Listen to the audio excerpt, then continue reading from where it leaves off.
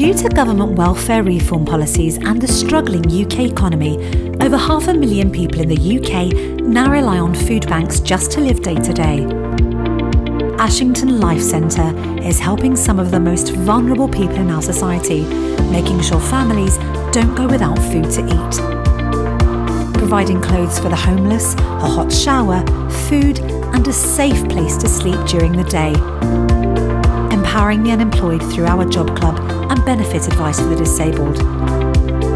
At the Daily Drop-In Centre, there's always a hot cup of tea and friendly face to talk to. Art classes, allotment gardening, and a teen bar for the youth. Reaching out to the most needy in society, transforming lives. Ashington Life Centre. Love in action.